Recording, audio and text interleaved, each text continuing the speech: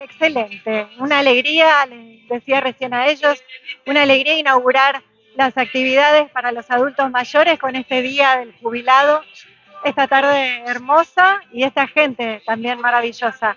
Eh, hicimos un encuentro eh, donde, bueno, tuvimos música en vivo, sorteos y la alegría de, de la juventud de los años.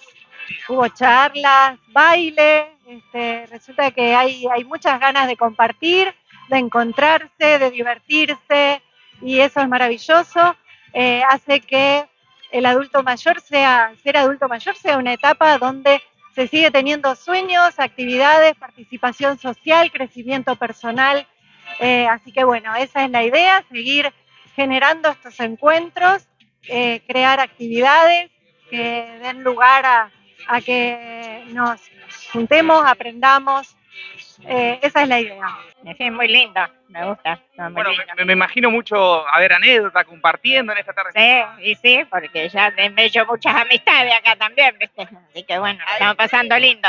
Para mí es lindo, una emoción, porque no salgo casi, así que ahora me estoy soltando.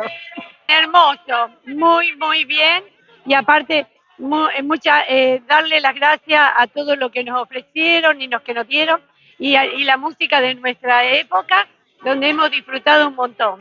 Hemos bailado cualquier ¿Qué cantidad. significa para usted que la comuna pueda preparar todo este tipo de eventos más para celebrar el Día del Jubilado?